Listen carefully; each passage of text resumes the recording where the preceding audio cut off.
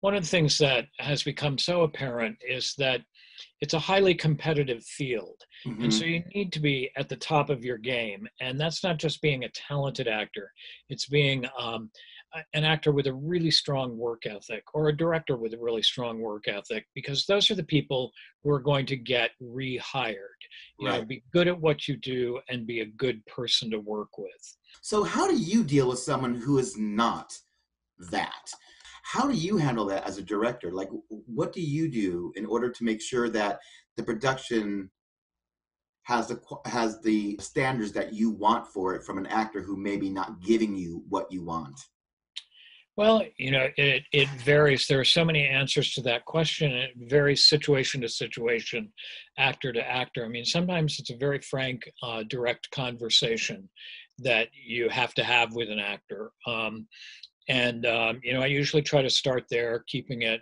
friendly but focused and saying, mm-hmm. you know, I'm, I'm having a, a hard time because um, you're pretty consistently late or uh, you know an, another one is until you get off book uh, there's not much i can do to help you right. um, you know if, if an actor doesn't seem to be working on his or her lines.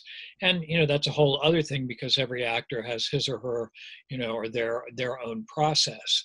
Um, and some need you know to keep the book in hand for a long period of time others come in completely memorized. You know it varies actor to actor. So you have to be as a director in general you know sensitive and flexible to the individual while keeping you know the the production moving forward keeping the whole in mind.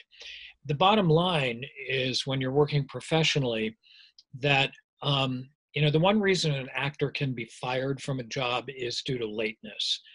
And uh, so if tardiness or lateness is the problem you know there's a very easy way to deal with it if you are able to replace an actor mm-hmm. you know if it really is is that serious and that that detrimental you know one of the things about the business is